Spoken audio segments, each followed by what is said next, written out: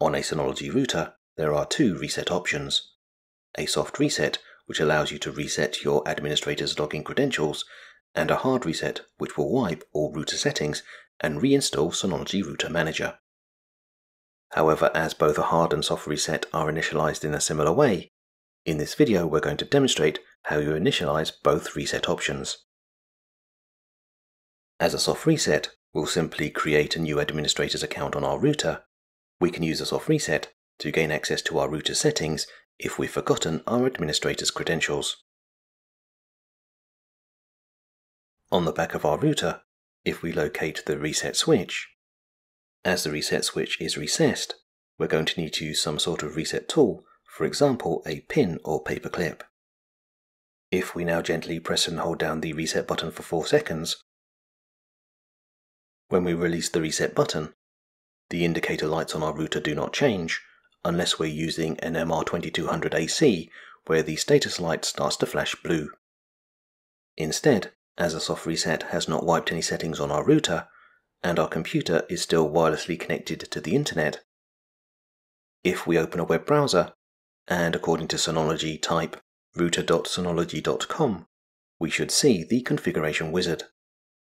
However, if like us you do not see the configuration wizard for your router, simply enter the IP address for your router into your web browser in order to be presented with the password reset page.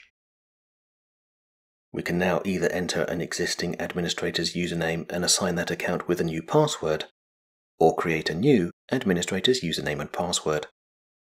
For this example, we will be creating a new administrator's username and password. However, as Synology disabled the ability to use the word administrator in an administrator's account, when creating a new administrator's account, we need to avoid using just the word administrator or admin. After selecting Submit, we're informed that we're no longer authorized to use the Reset Password service. Let's select OK to allow our router to display its sign-in page. We can now use the new administrator's account we just created, or sign in using the newly reset password to an existing administrator's account. Having successfully signed into our router, we now need to tidy the administrator's accounts that we've created.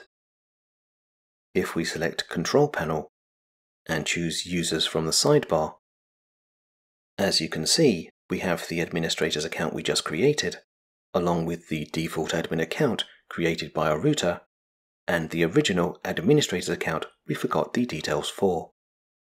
While both the admin and our original system admin account have been deactivated, it's a good idea to tidy up our user accounts.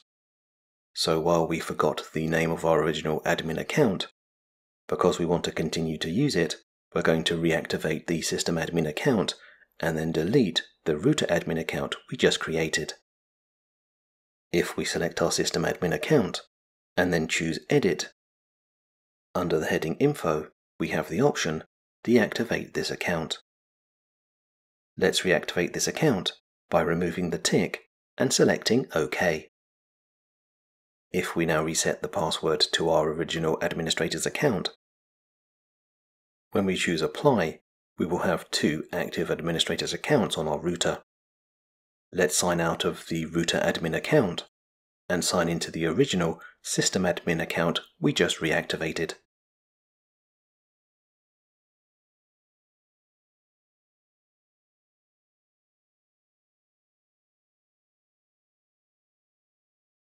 If we now open Control Panel and return to Users, as we should not have more than one administrator's account active on our router, we're going to delete the router admin account we created when we performed a soft reset. With the account that we wish to delete highlighted, by selecting the bin icon, we're asked to confirm that we wish to delete the highlighted user. When we select delete, the account is removed from our router. We've now completed a soft reset with our original system admin account, the default administrator's account to our router.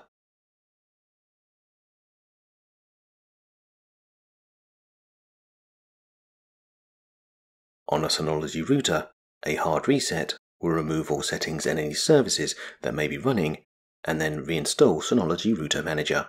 So you would typically perform a hard reset if you want to reconfigure your router from scratch, or you intend to sell, decommission, or give it away. As there are two ways to hard reset a Synology router, we're going to look at both.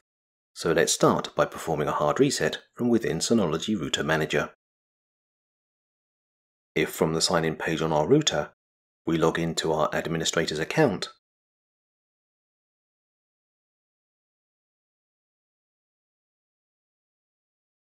by selecting Control Panel and in the sidebar choosing System, under the heading Update and Restore, and in the subheading Configuration Backup and Restore, we have an option called Restore Factory Default Settings.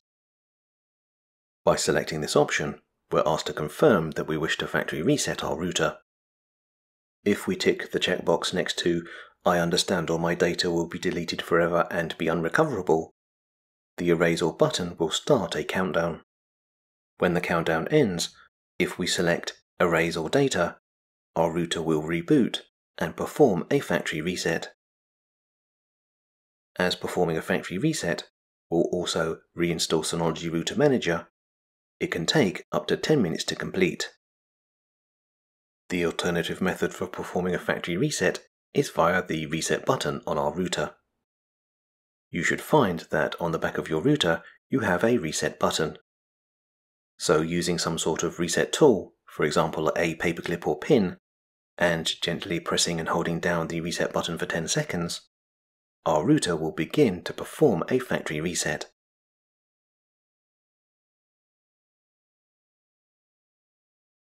Regardless of whether you perform a hard reset with Synology Router Manager or via the device itself, we will know that we are factory resetting our router because the indicator lights on the front of our router will blink out and the status light will change from green to orange you will find that it takes between 5 to 10 minutes for your router to reset to factory defaults.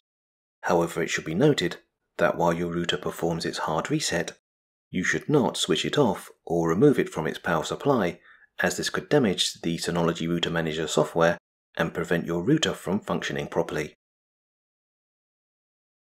We will have completed a factory reset when the status light on our router starts to blink green, or in the case of the MR2200AC, blink blue.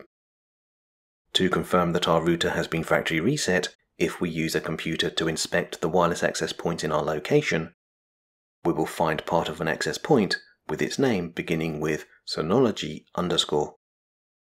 If we connect to this wireless access point using the password Synology and then open a web browser, by typing router.synology.com into the address bar, we will be shown the initial Synology router startup page, which confirms that we performed a hard reset on our router. We can now either switch off our router or reconfigure it.